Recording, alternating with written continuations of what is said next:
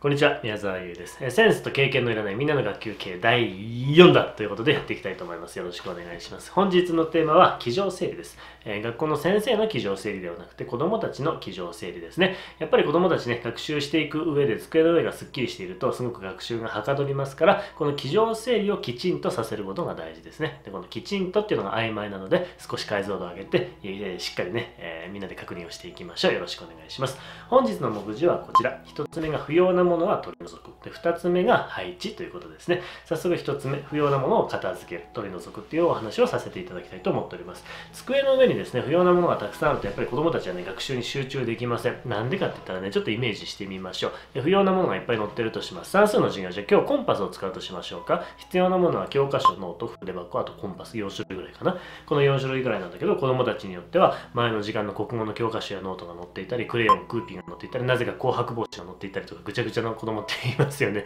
いますよね。僕、昔そんな子供でした。そうそうそういう子供いますよね、やっぱりね。しょうがないですそう。そういうもんなんだからね。子供なかなか苦手なんですね、子供たちは荷物の管理、整理っていうのがね。で、結局この後この子供たちがどうなっていくかというと、そのぐちゃっと荷物した荷物の上にですね、平気でその上にね、ノートを広げるんですよね。ノートがもうこんなもう波打ってるような状態の上で 字書いたりコンパスやったりしようとするんですね。気にならないんですね、あんまりね、子供たちっていうのはね。見てるこっちが気になっちゃうみたいなね。で、その後結局子供たちどうなっていくかっていうと当然煩雑な乱雑なこう机の上で作業していますからやってるうちにどんどんどんどんいらないものがねどんどん外側に行ってですねポロッと落ちるんですよね。じゃあ今回は例えばうんそうだなじゃあクレヨンのクレヨンのこのケースありますよね。このケースね。あの長い長方形のね。それが落ちたっていうふうに仮定しましょうか。授業中のね。この活動中にですよ。落ちました。バーンって音が鳴りますね。そしてクレヨンがバラバラバラバラバラとこう飛び散りますよね。さあどうなりますか？当然周りの子供たちは音音がするんで見ますよね。で、見て、えー、バラバラバラともう解き放たれた自由になった、自由の身になったクレヨンたちをこう目で追いますね。あー、誰々君が、誰々ちゃんがクレヨン落としちゃったよとか言ってね、声が出てくるかもしれません。そしてね、気の利く子供たちは思いやりがあって優しい。えー、バッと椅子を立ち上がってですね、でヒロインに行くわけですね。これが子供たちが2人、3人、4人なんていうね、子供たちがいたりします。で、えー拾ってあげたよなんて言ってね、何々ちゃん何々くん拾ってあげたよありがとう、ごめんね、なんて言ったりしますね。これ一見ね、すごくこう見ていて気持ちがいい景色ですけれども、全然気持ちが良くないですね。えー、その最中、子供たちの活動っていうのは一回止まってるんですよね。つまり、このクレヨンを落としちゃった本人も活動が止まってるし、そのクレヨンを拾っている子供たちの活動も止まっているし、その拾っている様子を周りは見てるんですよね。えー、作業になかなか没頭できないわけですね。やっぱ見ちゃうんですね。で、それを見ている先生、みたいな感じでね、先生は言うわけです。もういいから、もう、もう、あの、拾うのやめて、自分の席に戻りなさい。もう、あなたね、ちゃんとね、いらないものはね、使わないものはしまっておきなさい、みたいなね、指導をするわけですね。これ良くないわけですね。全部いらない。全部いらない。この先生の指導もいらなければ、立ち上がる子供たちもいらないし、見ている子供たちもいらないし、不要なものを出している子供たちのその行動もいら ない。ごめんなさい。子供いらないって言ったら子供はいりますよ。子供の行動がいらないっていうことですね。えー、なので、やっぱり子供たちの、子供たちの机の上にあるですね、不要なものはまずはしまわせましょうっていうことです。これが大事です。えー、学校の先生によってはですね、えー、机上の整理っていうと、すぐ文房具の配置の方に、えー、頭がいってしまいます。何々はどこに置いてっていう形でね、そうじゃないですね。配置の前にまずいらないものをしまいましょうっていうことです。目次の2つ目。目次の2つ目なんですけれども、続いて配置ね、今の配置のお話です。これ配置はまあ結論から言うとですね、あんまりこだわらなくていいと思います。配置はですね。で、こだわらなくていいんだけれども、基本のね、ベースは教えてあげましょう。きちんとね。ちょっと書きますね。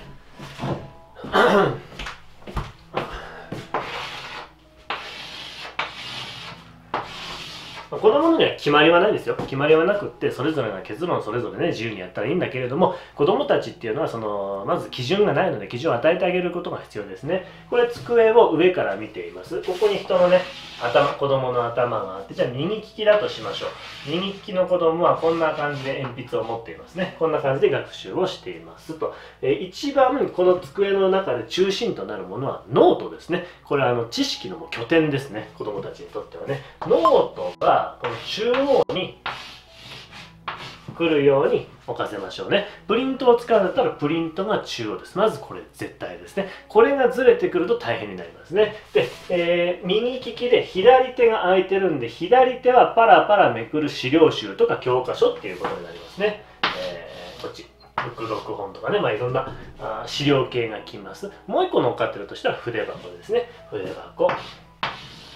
ちらっていうことになりますですね、えー、これがま基本のスタイルだと思っていただいていいのではないでしょうか。先生によってはねちょっと筆箱が縦になったりとかあ筆箱の上に消しゴムを置いておきましょうとかね、まあ、細かい指導される先生はおられるかもしれませんけれどもあ先ほどお伝えしたようにあんまり細かいことは言わなくていいと思いますよ。なんでかって言ったらですねえっと机のこの机上の配置を子どもたちに指導する理由としてはですねすっきりこれ勉強がしやすくなるためですね。で最終目標は学力の、まあ、定着。そして学力の向上じゃないですか。このね筆箱と教科書が入れ違ったからって学力って低下しますかね。しませんよね。あんまりね。でやっぱりそれぞれ好き好きにやったらいいと思いますよ。どんどん学年が上がったりね中学校高校って行く間にですねこの机の上の配置なんかいろいろ言われたくないじゃないですか。皆さんで職員室のね机の上の配置いろいろ言われたくないですよね。そんなことね、えなのでまあ低学年のうちはきちっと教えてあげるのがいいと思いますし指導は必要だと思います。もちろん高学年でも指導は必要だと思います。思いますけどもその頻度をどんどんどんどん落としていきましょう。そしてこれが守られていないからといって目くじら立てて指導をする必要はありませんよ。期間巡視の途中にあれ筆箱こっち逆じゃない。みたいなね形でね、えそんなお話をする必要はありません。ということですね。空気が悪くなるだけだし何かこうあの机の上の配置を正すことが目的になっちゃってるっていうことになりますんで目的はあくまで学習をしやすい環境を整えるということで筆箱と教科書の逆になっててもねあんまり言わなくていいと思います。で、学級全体があまりにね、あまりに煩雑になってきたなっていう印象があったら、例えば、あここぞという時にですね、月に1回ぐらい、ちょっと思い出しましょうか、みたいな形でね、話を高学年でもね、入れていくのがいいと思います。で、そんな話をするのは時間もったいないじゃないですか。ですから、一度ね、このような、あのーモデルみたいなものを作ったらデジカメでですね上からバシャッと写真を撮っておいてカラーで印刷してラミネートして教室のね一角にどこかに貼っておくといいです。貼っておいたら景色と同化しますが子供たちはいずれ見なくなりますが授業始まる時にちょっと今日皆さんこれ意識しましょうか。はい、指さすだけで子供たち、あーっていう風になるんでね、えー、皆さん、えー、揃えましょうあ。ここはこうでこうでこうでとかっていうこの口数がいらなくなるんですね。口数なくなると少なくなるとやっぱり教員楽だし、子供たちのストレス、えー、かなり軽減されるんですよね。だから一角にこういうね、視覚教材っていう、視覚教材ではないけれども、まあ、視覚的なこう支援を教室の一角にですね、置いておくと非常にこう便利ですよっていうお話でした。ごめんなさい。最後3つ目のお話、目次にはなかったんですけれども、ちょっとおまけということで3つ目のお話でとしてですね、えっと、一番の不要なものを片付けるっていうこのこの指導のタイミングですねこの指導のタイミングを一体どうするのかいつやるのかっていうことですよね。授業の前でしょうか授業の挨拶の時でしょうかそれとも授業が始まっってからでしょうか？ここって難しいわけですよね。でこれっていうのが結構授業の開始時刻の遅れと密接に関わってきたりもするんですよね。指導が長引けば長引くほど子どもたちの準備が緩慢になれば緩慢になるほどやっぱり授業の時間が圧迫されていくし、ね、授業の開始時刻が遅れていく。で先生たちのね精神衛生上良くないじゃないですか。イライラしてくるんですね。このイライラいらないんですよね。イライラやっぱ少なくしたいじゃないですか。自分自身ね。いつもニコニコしていたいじゃないですか。だから声かけ、えー因果応報のシステム構築そして最後個別支援っていうねこの逆三角形が必要なんですけれども今回はこの不要なものを片付けるっていうのを指導するにあたってですねこれあのね難しいです。非常に難しいです。どのタイミングでどのようにやっていくのかっていうのは一朝一夕であんまりできることじゃありません。だから学校の先生方みんな悩むんですよ。机の上がぐちゃぐちゃな子供がそのまま放置されているんですいっぱいいるんですよ。そして授業時間が帝国通りに始まらないんですよ。これ一朝一夕にできるものだったらこんなね日本全国の学校の各教室の担任の先生悩んでないんですよ。これ難易度が高いっていうことなんですね。ですからこのみんなの学級経営でちょっとお話をするとですねですね。非常に話が複雑になってきますしちょっと尺が長くなってきますので今日はここまでにしたいと思います。この不要なものを片付けるそして帝国通りに授業を始め始めていくっていうところに関して少し興味があるなっていう方は今度11月25日ちょうどいいタイミングですね。今月の25日の水曜日だったかな？夜の8時からウェビナーを行いますんでよければねウェビナーにご参加ください、えー、中にはですね大学生も結構参加されてる方多いので、えー、大学学生でこれから教員になるよとか教員目指してるよとかってねちょっとこう半分興味本位でねあのお越しいただいても構いませんし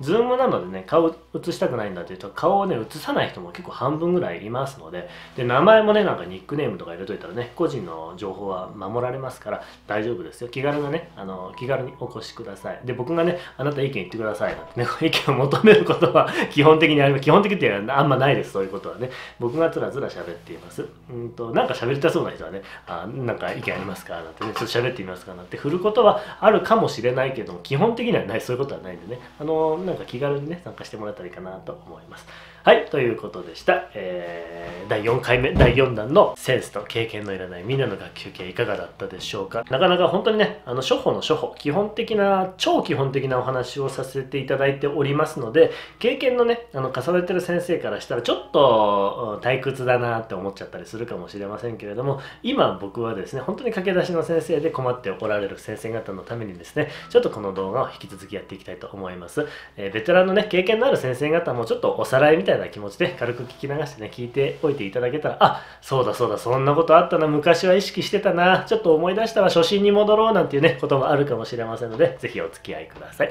それではこのように宮沢教育研究所では学級系に関する動画を1日1本配信しておりますので、気に入っていただけたらぜひチャンネル登録の方よろしくお願いします。それでは今日はこの辺でありがとうございました。さようなら。また明日。